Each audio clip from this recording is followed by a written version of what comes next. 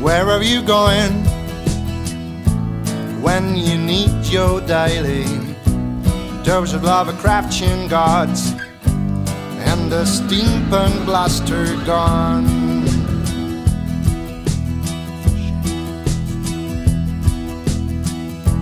Don't be surprised if you find Octopi oh talking about Russian facts, typing on keyboards made of brass. It's the table of Malcontents you should try to read today. Cause it's the place where you will find what yogic side reclaims. It's the table of Malcontent you should try to